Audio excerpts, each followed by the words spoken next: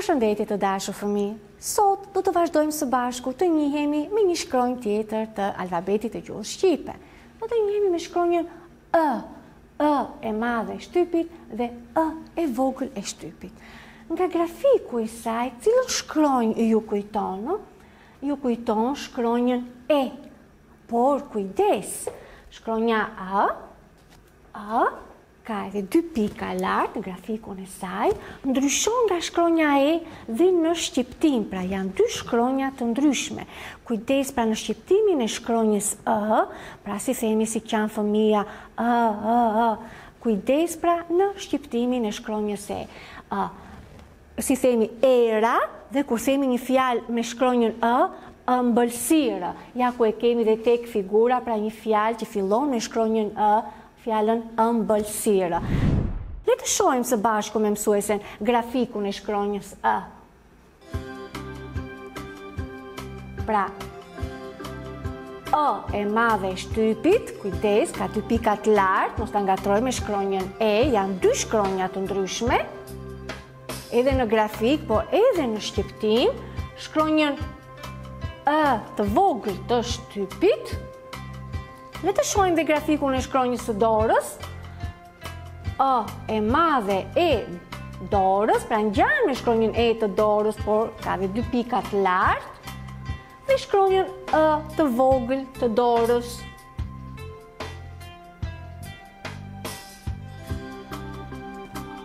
Shumë bukur. Dhe një fjalë që fillon me shkronjën ë? Cila është fjala? Ëmbëlsirë. Shumë bukur. Një fjalë pra ëmbëlsirë që fillon me shkronjën ë, që ka dhe në trup shkronjën ë. Le të mendojmë dhe ne së bashku me mësuesen të gjejmë fjalë që fillojnë ose që kanë në trupin e tyre shkronjën ë. Ëndërr, këngë, mësues, nxënës e fjalë të tjera që mund të mendojmë e të gjejmë.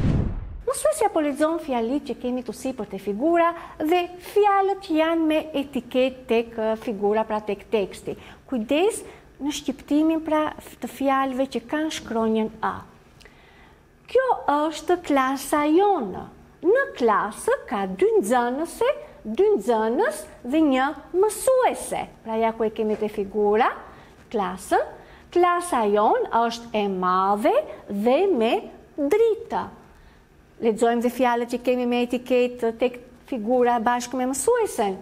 Hartë, tabelë, çantë, bankë, derë, mësuese, nxënëse, gomë dhe fjalën nxënës, pra fjalë që ka në trup, në ka në trupin e tyre pra shkronjën ë.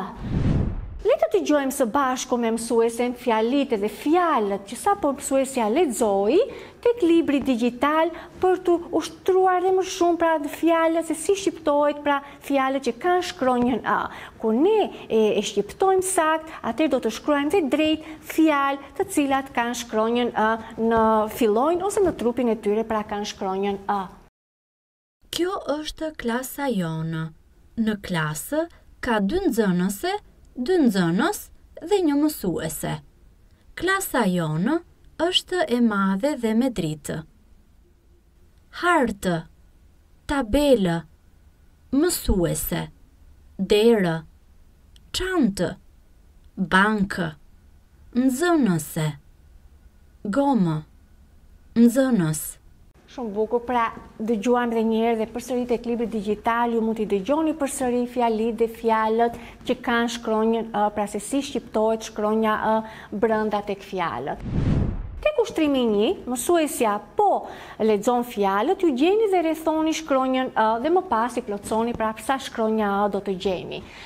Le të fillojmë, fillojmë së bashku me mësuesen fjalën e parë, kemi fjalën ëmbëlsirë, që ka tri ë, fillon, ka në trup dhe mbaron me shkronjën ë. Atëherë le të rrethojmë dhe shkronjën ë, tjetër, Tek fjala ëmbëlsira, mësuese. Ja ku e kemi shkronjën ë, kujdes mos ta ngatërroni me shkronjën e. Nga grafiku dallon se ka edhe dy pika lart, por ndryshon edhe në shqiptim, pra nga shkronja ë, nga shkronja e. Do të vazhdoni dhe ju në fjalët që mësuesja po lexon, nxënës, ëndërr, fjalë, hartë, bankë, erë, ëmbla, mprehëse, libër, ëngjëll, gomë, çantë, nxënëse, tabelë, derë dhe fjala një. Çfarë vëmë re? Kemi fjalën ëmbla dhe ëngjëll që janë shkruar me shkronjë të madhe të shtypit, sepse janë emra njerëzish. Tek ushtrimi dy, Na ndihmojnë figurat të kuptojmë nëse kemi ndonjë fjalë që nuk e kuptojmë. Sipas modelit, në fillim plotësojmë me shkronjën ë të madhe të shtypit dhe më pas me shkronjën ë të vogël të shtypit. Atëherë, le të lexojmë së bashku me mësuesin cilat fjalë na formohen. Hm? Fjala ëmbëlsirë, Gomë, bankë, dhe fjala mprehëse. Pra kujdes, ka shumë rëndësi se si ne shqiptojmë shkronjën ë brenda fjalisë që të mos bëjmë gabime dhe kur e shkruajmë. Të shohim se çfarë do të mësojmë sot tek rubrika gramatikë pra në gjuhën shqipe. Unë kam një gomë. Po ti ke gomë. Jo, unë nuk kam gomë. Ai ka një laps. Po ti ke laps. Po unë kam laps. Jo unë nuk kam laps. Pra çfarë do ushtrohemi sot tek pjesa e gramatikës, te rubrika gramatikë, siç shohim dhe me ngjyrë të kuqe, pra të ushtrohemi me foljen kam, me këtë fjalën kam, kur unë kam diçka ose nuk e kam, pra se si përgjigjemi kur e kam dhe kur nuk e kam, pra të shohim se si i ndërtojmë fjalitë. Pra unë kam një gomë, mund të pyesim po ti ke gomë, po ti ke laps, dhe në qoftë se e kemi, pra në fjali themi pozitiv pohore, si do themi po, unë kam laps, dhe në fjali ku nuk e kemi, ose fjali mohore, mohojmë, dhe përdorim këtë fjalën e vogël nuk, Si themi jo unë nuk kam laps. Shumë bukur, le të ushtrohemi dhe ne në të folur duke bërë pyetje përgjigje, duke plotësuar pra dhe dialogët tek libri, pra dhe i përgjigjemi dhe me fjali të plota. Çfarë ke në çantë? Në çantë kam, na ndihmon dhe figura, në çantë kam libër, gomë dhe mprehëse. Po ti ke vizore në çantë? Jo, unë nuk kam vizore në çantë. Ose si mund të përgjigjeshim, po ti ke vizore në çantë, kur e pohojmë dhe e kemi, po unë kam vizore në çantë. Ose një pyetje tjetër, po ti ke gomë në çantë? Jo, unë nuk kam gomë në çantë. Ose, po, unë kam gomë në çantë. Po ti, ke prehse në çantë. Po, unë kam prehse në çantë.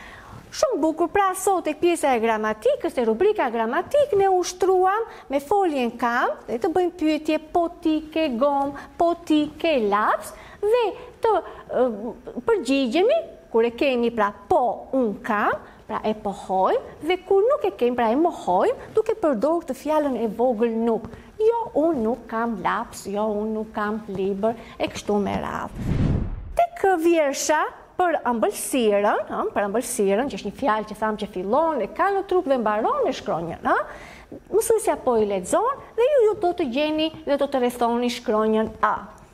Unë jam ëja ëmbëlsirë si ajo jam shumë e mirë ndonjëherë qaj ëëëëë kur ju thonë mos hani më shumë fjalë në fund kanë ë e nuk bëjnë dot pa të pra kujdes pra tek shqiptimi i shkronjës ë tek fjalë të cilat dhe në fund e kanë shkronjën ë dhe nuk bëjnë dot pa të pra se sa sa rëndësi pra ka Kur e shqiptojmë drejt dhe ta shkruajmë pra drejt edhe tek fjalë që kanë shkronjën ë.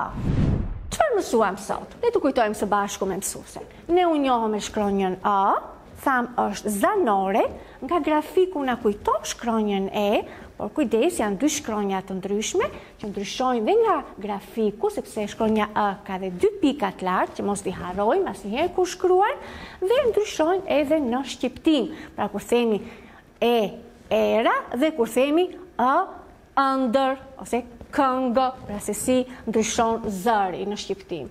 Lexuam fjalë që kanë shkronjën ë, gjetëm shkronjën ë dhe pasuruam fjalorin dhe me shumë fjalë të tjera që kanë shkronjën ë, fillojnë ose në trup ose mbarojnë me shkronjën ë, Te pjesa e gramatikës, sot tek rubrika Gramatikë në gjuhën shqipe ushtruam të bëjmë pyetje, përgjigje për diçka kur e kam dhe nuk e kam, pra pohojmë dhe mohojmë e themi në gjuhën shqipe, po kam, po nuk kam, duke përdorur kur themi jo nuk kam, dhe këtë fjalën e vogël nuk dhe në fund lexuam vjershën që tregon se sa e rëndësishme është pra shkronja ë ka fjalë që në fund kanë ë dhe nuk bëjnë dot pa të. Ju mund ta mësoni dhe vjershën përmendësh. Mirupafshim në mësimin e ardhshëm.